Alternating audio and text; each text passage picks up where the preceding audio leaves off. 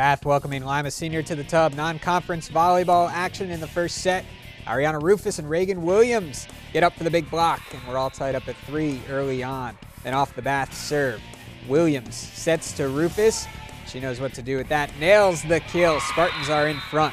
Bath answers back. Kaylee Ketchum goes off the block and down for the home team. And then some strong net play from Ketchum, who first comes up with the block and then tips it over and down for the Wild Kittens point. Bath wins 3 to 1 in a good match.